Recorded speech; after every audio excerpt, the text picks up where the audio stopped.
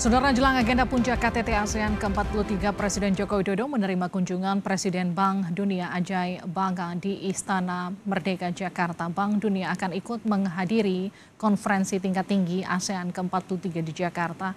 Dalam pertemuan, Presiden Joko Widodo didampingi Menteri Keuangan Sri Mulyani dan Menteri Sekretaris Negara Pratikno kedatangan Bank Dunia untuk memetakan peluang dan memperdalam kerjasama dengan Indonesia.